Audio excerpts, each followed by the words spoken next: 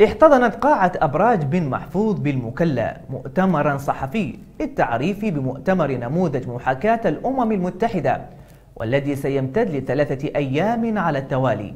يستقبل وفودا من مختلف المحافظات وعلى رأسها المحافظات القابعة تحت سيطرة الحوثي.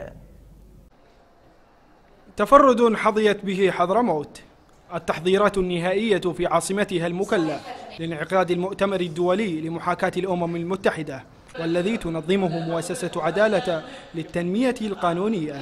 ثلاثة أيام متواصلة يجري من خلالها تدريب المشاركين من مختلف المحافظات حتى تلك القابعة تحت سيطرة ميليشيا الحوثي على أن الحديث حول كل دولة وفقا ومعايير النقاش التي حددها القائمون على المؤتمر. إن هذا المؤتمر له أهداف سامية وشفافة وهي تمكين قادة الغد من الشباب من أجل تأهيلهم وتغذيتهم بالمادة العلمية والخبرة للتعرف عن الأجهزة أجهزة الأمم المتحدة ووكالاتها وبالتحديد فيما يتعلق بإجراءات الجمعية العمومية وكذا مجلس الأمن وكذا إجراءات ومرافعات محكمة العدل الدولية. الصبغة الرسمية والطابع الحكومي غابت في مؤتمر المحاكاة الخاص بنسخة بلادنا في أول لقاء أمام وسائل الإعلام على غرار تنظيم الحكومات الأخرى في البلدان المجاورة لمؤتمر المحاكاة دون المؤسسات المحلية.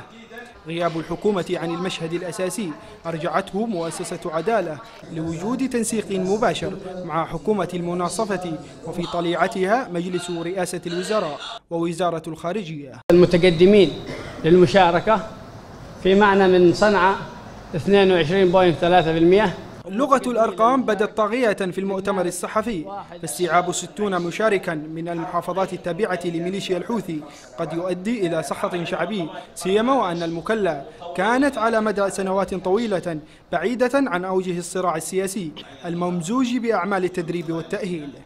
الخطوط العريضة لمؤتمر المحاكاة قالت المؤسسة القانونية أنها ستشمل الأمن والسلامة الدوليين.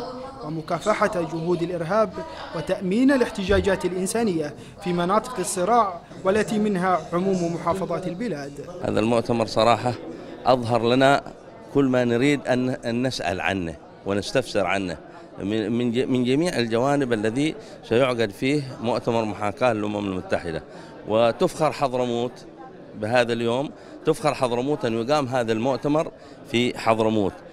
ما ما بين 75 ألف دولار أمريكي إلى 100 ألف دولار أمريكي. أما موازنة مؤتمر المحاكاة فإنه سينفق ما يقارب المئة ألف دولار أمريكي خلال ثلاثة أيام في وقت تبدو المرافق الصحية والأوضاع الخدمية في أمس الحاجة لمبالغ تعزز أعمالها في خضم الأوضاع الاقتصادية الصعبة. لقناة المكلا باسل بامعس.